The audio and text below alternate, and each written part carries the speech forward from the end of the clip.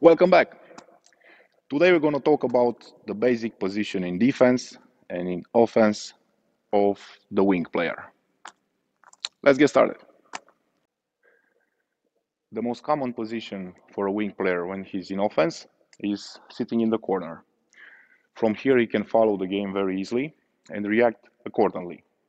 The most basic two options that he has is option one, go toward his teammate, receive the ball and try to go towards the goal between the two defense players.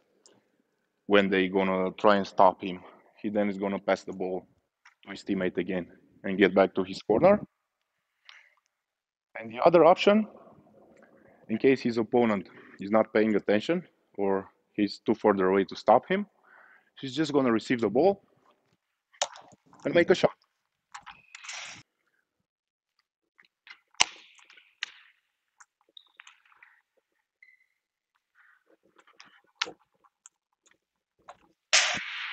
The most common defense position for a wing player is sitting on the six meter line with his heels in the defense position.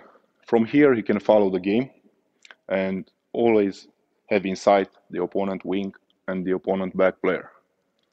Always remember that the most threat for the goal is the player with the ball. So in the case you see the back player coming inside the 9 meter line and your team player cannot stop him, you're going to go and tackle it immediately and if he manages to pass the ball to the wing, you're going to try and make best speed back to the six meter line, trying to narrow his angle.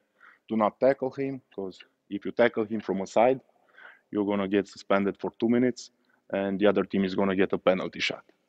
So tackle the most threat and make yourself back towards the six meter line as fast as you can. Do not try to run around for the player keep in mind that when he has the ball, he's going to go directly towards the goal.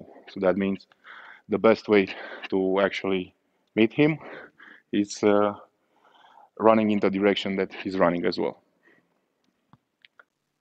That's all for today. I'm Jim, and until next time, it's your turn.